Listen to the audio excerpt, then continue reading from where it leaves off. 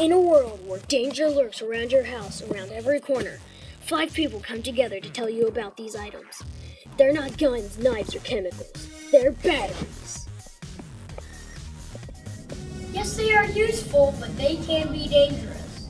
Watch what happens when you take a 9 volt battery and simply touch it to a piece of steel wool.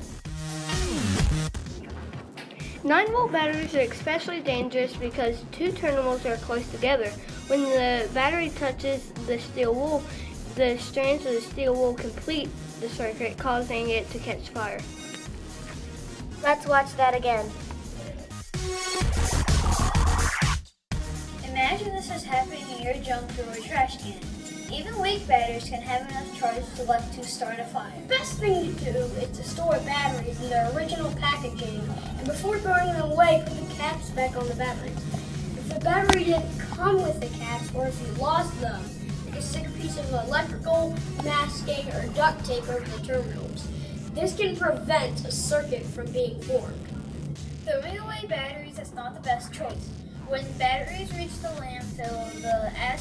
leak out into the groundwater and can cause contamination. Rechargeable batteries contain heavy metal elements that allow them to be recharged over and over.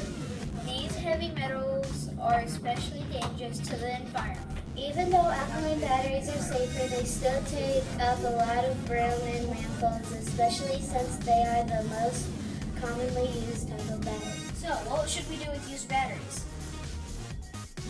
Recycling is the best option.